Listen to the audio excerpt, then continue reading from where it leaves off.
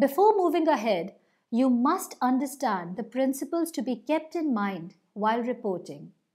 These are fundamentally linked to the qualities that mark a good news reporter. While nose for news is a given, instinct, intuition, a healthy dose of curiosity, and skepticism also play an important role in getting news out from various avenues. An alert attitude, clarity of mind, and articulation of thought go hand in hand as you report and write a new story. Cultivate patience. You should be able to get cracking at a moment's notice and think on your feet. Also, the ability to meet deadlines is very crucial. Most importantly, never ever sacrifice accuracy for the sake of speed. The context of any and every story is extremely important. The devil is in the details. Every detail, facts, names, dates, figures, and spellings need to be thoroughly double checked. As a reporter, you also need to be aware and report what we do not know rather than expecting the reader to figure out the story on his or her own. Getting the right facts, and this means relevant facts, is as important as getting the facts right. You need to find all the pertinent information for your story and ensure that they are real. Thorough research is a big part of building a story. You need to make observations, take copious notes during interviews, check other reference materials, and then write news stories. Ensure that you only report what you know was said and attribute the statements to definite individuals. For example, the lawyer XYZ says, or the chief minister ABC says. As accountable reporters, you need to be true to the readers and quote your sources. Your source may be a person, a publication, a record, or a document which provides information. Mostly they are not confidential. However, there may be certain circumstances where source may request anonymity out of fear of retaliation or persecution. In many countries of Europe and the United States, the importance of source protection has been acknowledged and recognized to some degree. However, in India, the issue has not been given due importance the Law Commission has twice attempted to propose and recommend shield laws in this regard. However, no tangible results have appeared so far. Checking the credibility of the news source has become especially relevant in the present times when taking inputs from internet sources. If a website quotes another source, dig further and go to the primary source to ensure that you have the right information. A lot of articles are published online by trustworthy news outlets. However, there are many others written with no apprehension about failing in terms of factual accuracy and balance. Here, it becomes crucial for you as a reporter to use your judgment and evaluate who is a credible source of information. You should always be able to back up your facts. Do everything that needs to be done make calls, send messages, and email. Show up where you need to ask the right kind of questions. Use the phrase on the record when you would like to quote or make an audio or video recording. There might be newspaper deadlines and the pressure may overwhelm you, but make an honest attempt to confirm everything from additional sources. Originality and resourcefulness in news gathering methods are as important to a reporter as learning to network and build contacts. You need to have integrity, be diligent, on the move, and take the initiative. Be fearless, yet tactful, while handling people from all walks of life. You need to be a keen observer of life who makes people put on their thinking caps. In short, as a journalist, you will select, check, balance, and cultivate your sources. Fairness and balance. Objectivity, accuracy, and balance are essential qualities in a news reporter. Ensure that your quotes are precise. Also, be cautious while paraphrasing sources for a news report. You can summarize the key points spoken by the subject in your own words, but the meaning or the intent should not change. There is no room for personal bias in a reporter's work. As a news reporter, you should use as many legal and ethical methods as you can to gather news.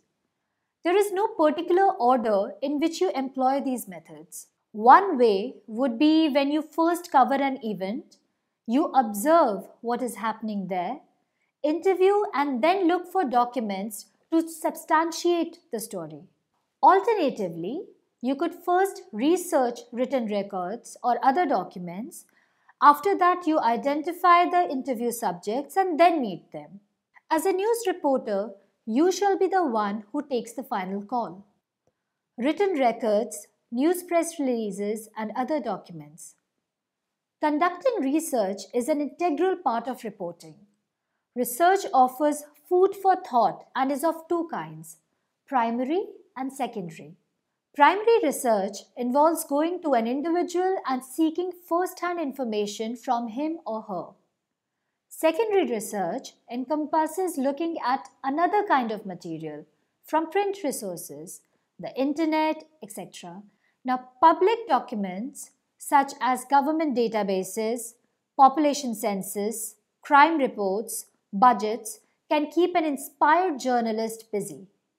They're also a means to fact check statements by interview subjects. Increasingly, Data journalism has recently emerged in a big way, where as a journalist you try to spot trends in large data sets like elections and budgets. A news reporter needs to scratch the surface and not write a news story based just on a press handout, a news release, a press conference, or speech. These may read as one sided and may have been unfairly motivated by the source. Always verify the integrity of the information by engaging with multiple sources. Provide the context to the story, add relevant reactions from a related citation, and offer your on ground observations to the reader too. Observation Explore your five senses to provide the reader with appropriate information that gives him or her a better perspective on the news story.